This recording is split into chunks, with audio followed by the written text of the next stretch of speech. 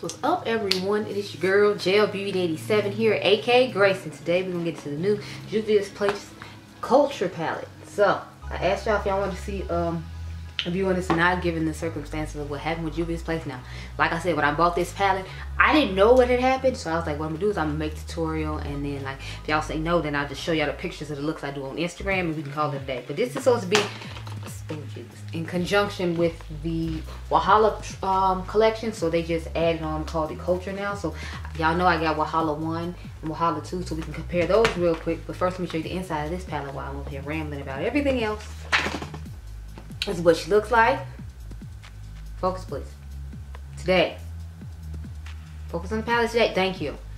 So this is what the inside of it looks like. Now we're going to put up alongside the original Wahala palette.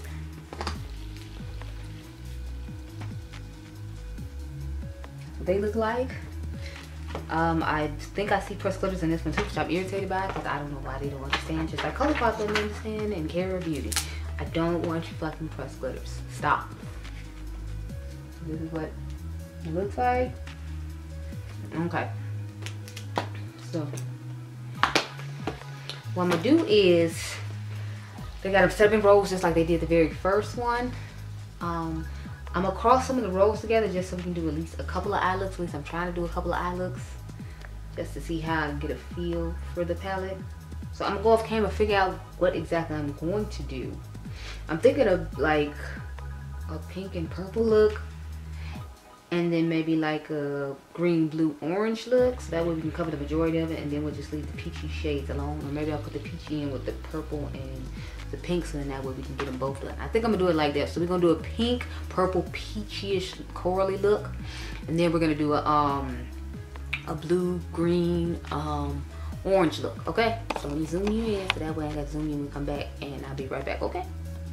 Okay, y'all, so this is the first look I came up with with the palette. I told y'all we'll be doing two, so the green was a lot darker than I expected it to be. That's what I have dusted in here, and as you can see, it's oxidized to whatever that is. I don't know. We just have to go with it because it's already there. It's too late. It's too late. This is the purple that I put on my outer V. I don't know. The purple to me felt like a different formula of matte from um, Juvia's Place. I don't know if it was just me, but it felt like it was kind of be like a buttery cream to powder thing like Natasha has going on. I don't know. But anyway, let me show you what I actually used. So y'all know I had to use this um blue. So I use this blue. I use the deep purple. I use the shifting blue to um, purple shade, which I feel like is similar to another shade, another palette, and it's just less metallic and more glittery, and that's the difference between it. We use this one on the outer V. Um, what did I do? I used this one in the inner corner, and then I took these two greens right here. So I used all the areas I said I was gonna use to make a look. This kind of reminds me of the look I did with the, um, what is it? The Margarita palette from, um, Glamlite but you can let me know down below if you think it looks similar i feel like it looks similar but i'm selling this purple um matte because i'm telling y'all it doesn't feel the same as normal juvia's place form i don't know what's going on with that but it feels different to me i could just be tripping them. but that one and the green one i used it felt like like a different it felt like they tried to make the mattes more buttery and smooth and they have a little bit more creaminess to them than their palettes normally do, which was a little bit of different, a little bit of a setback at first because I was like, whoa, what's going on here? Because I feel like it's um made a little difficult to blend for me, but it could just be the fact that I'm using this baby brush, so I feel like I have to hold it closer than I normally would. Since I hold the brush farther back normally, I don't usually have that issue. So it could just be that, I don't know. Anyway, what's the name of the shade anyway? The next shade in that shade was Edo. Now we're gonna go into the shade Shakiri. That's the um blue shade. At least I hope I'm saying it right. But yeah, so the sh glittery shade in the middle of my lid with the um blue and purple shift to it really remind me of the um what do you call it palette? The, um, a shade from I think it's from Wahala, the original, the very first Wahala. But I'm gonna swatch them at the end and then we can see. I feel like it's, they're really similar. Now, uh, originally I had the mid shade in the front and then just did this mid, um, the back shade first, but I, like, I it does make a difference. So the mid shade is called Afro Beats. We're gonna start with it up here in the front. And to me, this shade was like the best shade. This reminds me of shade in the video that you all gonna see today from um, um, Drench Cosmetics and um, Neon MUA. The um, it? Lunar Retrograde palette. That's what the shade reminds me of. I love a good shade like this, especially if that's works on my skin tone. Another good shade like this for someone my skin tone, if anyone's curious, is in the, uh, what is it? The pastel palette from Artist Couture. I forgot the name of it. Ethereal Blooms, I believe it's called. The um, the shade in there is really nice if you want a shade like this for some of my skin tone because you see how pigmented and nice this is. But I did use the Juvia's Place white base if anyone cares. I'm going to put the green shade on now and then we will cut my crease and put all those cute shimmers as you see. So the green shade is called Terrible.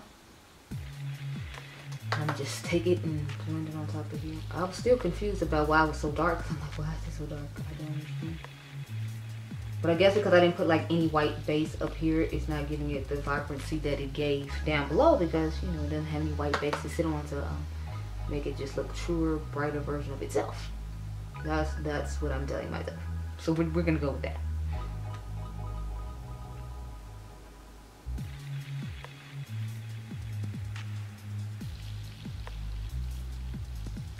And I think it actually turned out pretty nicely.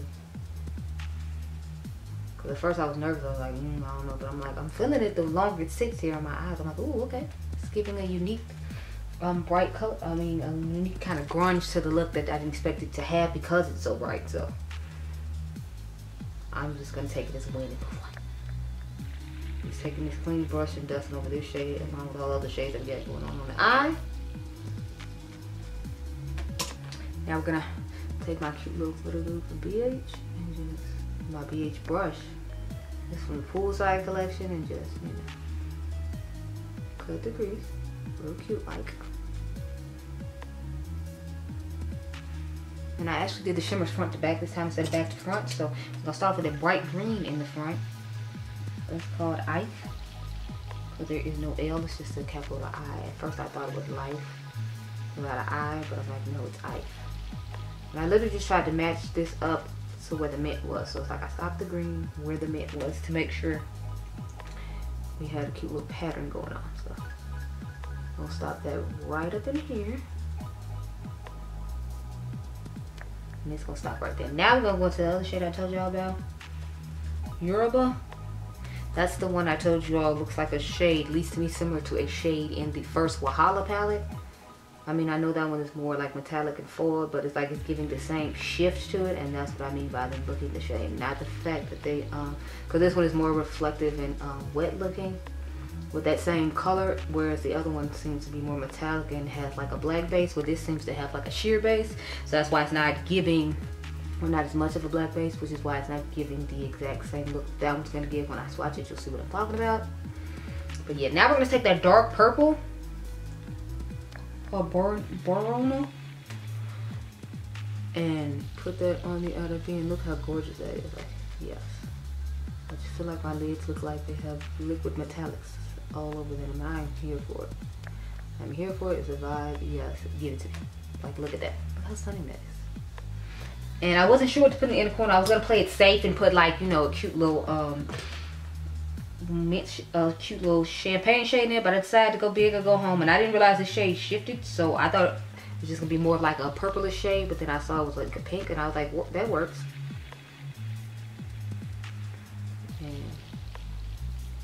Here we are with the finished eye, number one. So I'm gonna take my hair down, go outside, take my look at the other thing of sexy pictures. Then we will come back and do the look I talked about, which will be, I guess, with the pinks, the um pastel yeah the pinks the um peach shades and the oranges.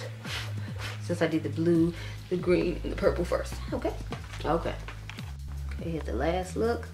I, at first I just did an all matte look but I was like I figured we should use some of the shimmers of the other colors too. So I did those. These are the three shades I was talking about. So this is from the um palette we use the Natural Culture this is from Wahala 1 and this is from Wahala 2 but you see what I'm saying about how they all have that chain blue to like purplish shift.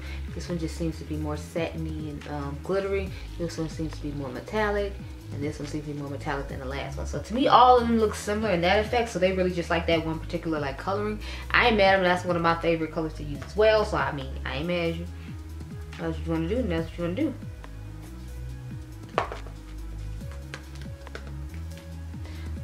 To put my eyeshadow on before I started because I had to um, make a thumbnail for the video that went up at 12 o'clock. Cause I thought I had made it last night, but I made the wrong thumbnail for the wrong thing. So I was like, yeah, the lives together ain't in order. But I still got one more video to film. Then I'm gonna go pick up my lunch. Then um, go home. Then I'm gonna go pick up Adrian Gable from school. Then we gotta go to the movies tonight. So I'm trying to decide if I should take him right after school, so that way I don't have to worry about going later on and I have to just relax or what. Anyway, so the shade I use, I use this one 1960 start off with. This is what's our inner corner right here. I use this shade, this shade, this corally shade right here. Pay attention. This corally shade right here. And then I use this shimmer, sorry, yeah, this shimmer right here on the lid. So those are all the shades we use to use all the other half of the palette like I talked about. So I'm gonna start off with the shade 1960.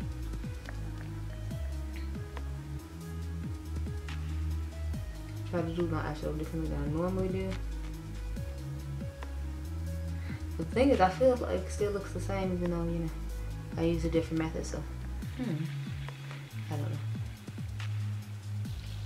And I tried by putting orange on the outer V instead of putting like the dark pink like I normally would. So I was just trying to switch it up like a little bit, but not like too much outside of my comfort zone. So I'm like, yeah, no, I'm not feeling it. So that's what how we got what we got. And then I just took the hot pink and put it on the lash line too.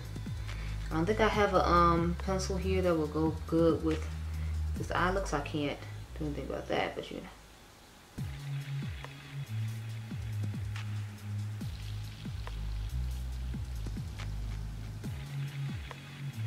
good enough to me.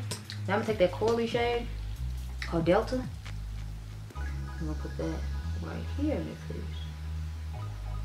I literally just put it right underneath the um the 1960 shade and start dusting that into the crease.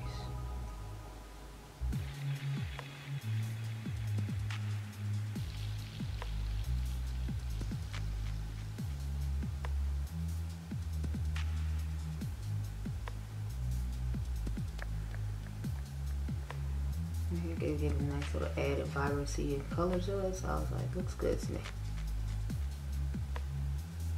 Now, I think it's when I put the orange shade on the outer V.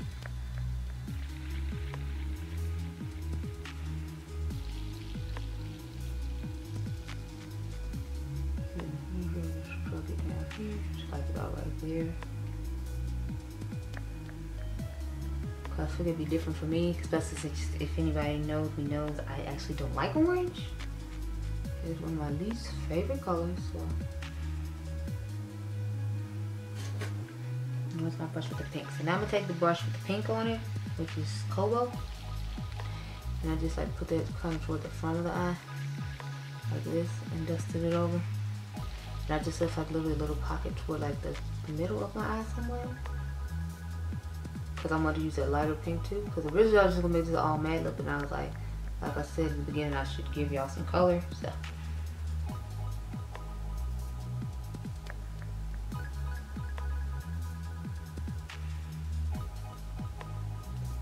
There's that. A little bit more.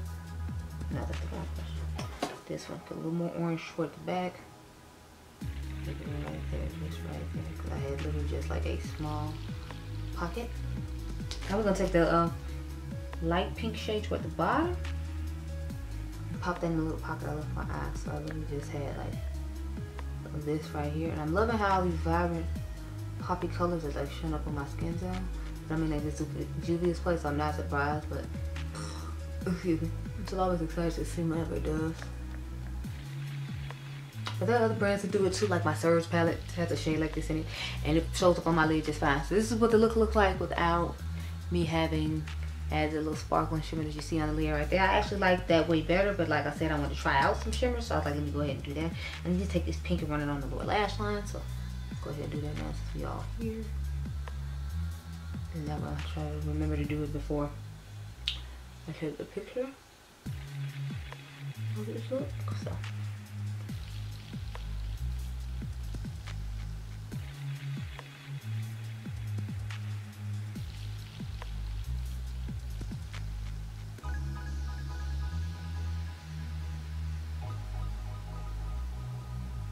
So there we go. Gonna take my clean brush. Where is it? Do I have a clean brush? Yeah. I use the old dye brush. My clean brush. It does old. Listen, my little last line, whatever. Now we're gonna take some glitter glue as usual. Cut. I'm not cut. I'm gonna just literally dab some in a certain place on my eye, so that way, like the glitter will fit on top of the matte shade. So I think I just literally did like right in this area right here. So basically toward the center, and that was it. Just would pop on the glittery shade. Now to me, this glittery shade isn't that impressive or impactful. It could be the brush I'm using, which is why I don't feel it is, but I don't feel like it gave a whole bunch of sparkle and shine to where I was just like, yes.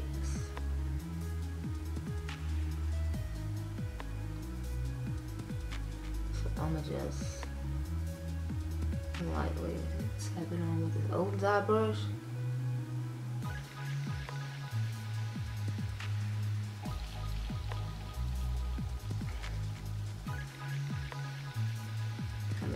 All places with glue.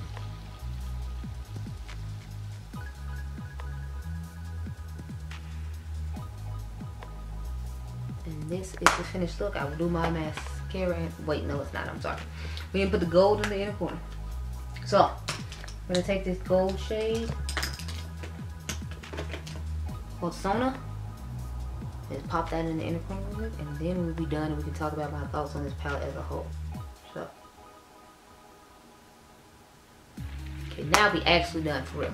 So let's back her on up there and talk about this palette. So, my thoughts on this palette are a couple of the mattes felt kind of creamy. So I don't know if they're trying a new formula for their mattes or what was going on with that. But like I told you, a couple of them felt creamy to me. So I was like, hmm, interesting. Uh, as far as the color story goes, I like the color story of this one better than I like the color story of the original Wahala. But I still say I like the Wahala 2 color story the best since this is supposed to be a part of that line according to what I read on their Instagram page. It's supposed to be an extension. Um, I've as far as ranking them goes, Wahala 2 will always be my favorite because it's the one with the most blues, greens, and purples in it. Like this whole section right here, it's like you could take this section out and this would just be a palette for me just fine. Um, but, you know, it has that little section in it. So uh, this is number one for me. I would actually say the culture one that I just tried out would be number two just because I like the color of this better. And I like both the looks I came up with. I feel like they were really nice. I don't know what it is about the Wahala palette, the original one. I just can't get down with it. Like, I don't know what it is. I don't know if it's this color story. I don't know what's going on with it. But I was like, I just am not a fan of this palette. Like, if I had if I had to pick one of these to go, it would be out the door with quickness. Like, I, it's just not for me. I don't know what's wrong, but it's not. This one I do like. I will say I'm still not liking the fact that they keep putting pressed glitters in here. Now, I know it's only one pressed glitter, but it's like, that could have easily been another shimmer shade. I don't like the fact that this isn't as packful as I thought it was going to be, because let me show you the swatch on my hand. This is actually that shade right here. As you can see, hardly has any color to it or hardly any sparkle to it. So it's kind of disappointing in that a retrospect, which is why I put it on top of a matte as opposed to wearing it on its own. I just wasn't a fan of that.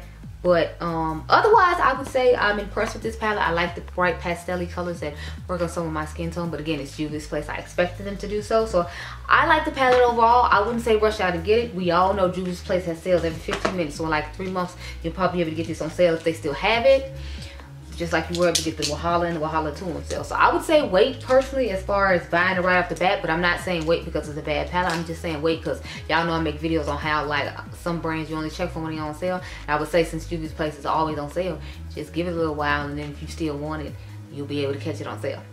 So those are my thoughts. Anyway, I hope y'all enjoyed this video. Remember y'all the diamonds. I'll catch you guys in the next one. Be blessed, girl. Bye.